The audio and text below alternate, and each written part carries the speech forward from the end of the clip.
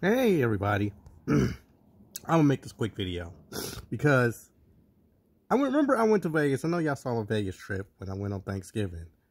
But here's something I never hear nobody talk about. Nobody. On these American Express Platinum YouTube videos. Now everybody say, oh, you get the $200 credit and for bags and uh, bag fees and um, bag fees and uh, snacks and drinks and stuff. But do you realize that with that $200 fee, let me show you what you can pay for. Hold on. You can pay for that. That is the security fee. Now, if you use your points, this is Southwest. I use my points to go to Vegas, right? Well, this this was rechanged because I got the uh, points uh, points different. But anyway, blah, blah. anyway, you have to pay this fee every time you use your uh, miles because it's a security 911 fee. So I put it on my American Express card, and then I got the bill. Well, not the bill. I, I looked at my statement, not statement, yeah, statement and transactions. They credit me this.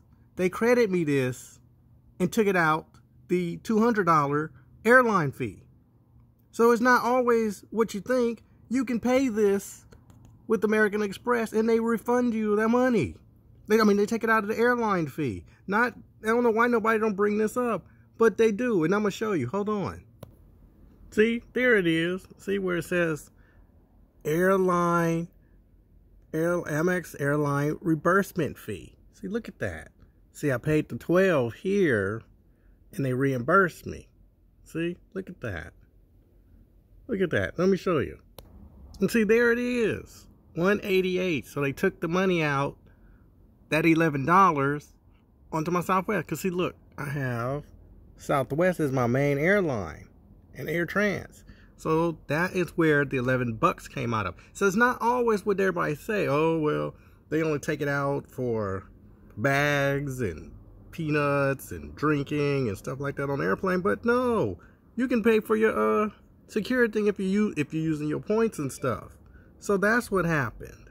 So it's they pay for other stuff besides what everybody thinks who got the American Express Platinum card and Gold card and whatever the other card is for 250 so there you go. I nearly got, no, really, it's a free, complete trip without paying for nothing to Las Vegas for Thanksgiving week.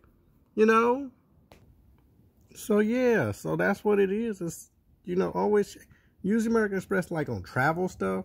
Because next time I go, I'm to use, I'm to put, uh, put my hotel stuff on it.